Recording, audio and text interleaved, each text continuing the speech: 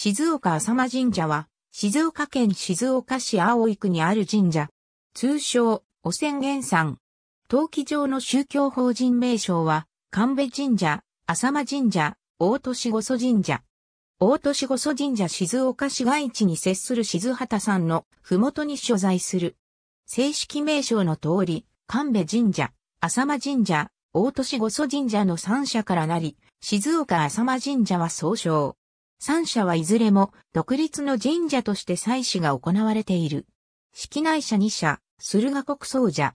三社合わせて、旧社格は国平商社で、現在は神社本庁の別表神社。以下の三社が鎮座する。三社は鎮座以来独立の神社として扱われ、江戸時代まではそれぞれ別の社家が奉仕してきた。1888年、三社別々に国平商社に昇格した。戦後は神社本庁の別表神社となった。現在は一つの法人格となっている。社殿は江戸時代後期を代表する漆塗り曲彩式が施された壮麗なもので、計26棟が国の重要文化財に指定されている。この社殿群は1804年より60年の歳月と約10万両の拒否を投じて建造されたもので、新州諏訪の立川和四郎ほか門弟により彫刻された花鳥霊獣類は繊細を極めている。特に重層な大拝殿は高さ25メートルで木造神社建築としては出雲大社本殿より高く、まさに日本一の異様を誇る。境内には神社宝物のほか、静岡市に関する歴史資料を保管、展示している静岡市文化財資料館がある。静畑山の航空写真。浅間神社は南端近くにある。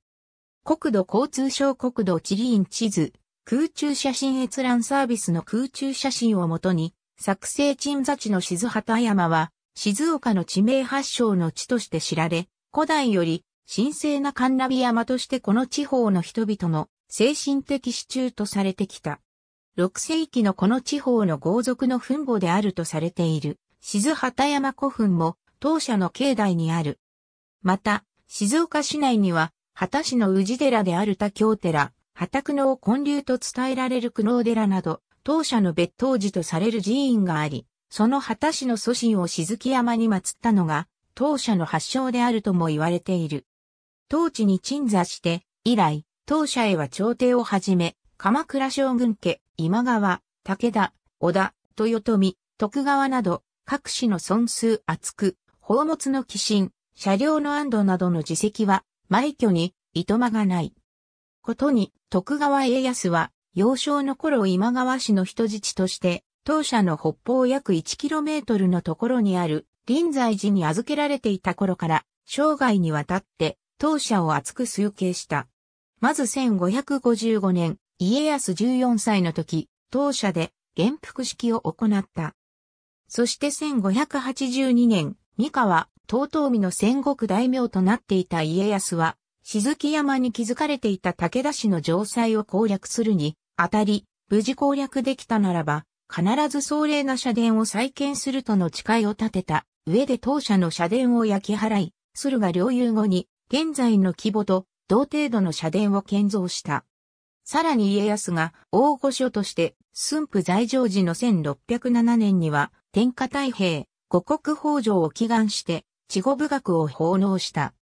以来当社は、徳川家康数形の神社として、歴代将軍の祈願書となり、新職者層の装束類も幕府から下行されるようになるなど、徳川将軍家から手厚く庇護されるようになった。例えば、江戸時代初期の駿府藩主、駿河大納言、徳川忠長は、この静山で猿狩りを行い当社の神の使いの猿を買ったことで、兄である将軍、徳川家光の激鱗に触れたことが知られている。こうした経緯から、明治初年に至るまでの車両等の総国高は2313国にも及んでいた。葉山神社、八千穂の神社、少なびこなの神社昭和5年、赤鳥居前、二重化開催対象期の配電。ありがとうございます。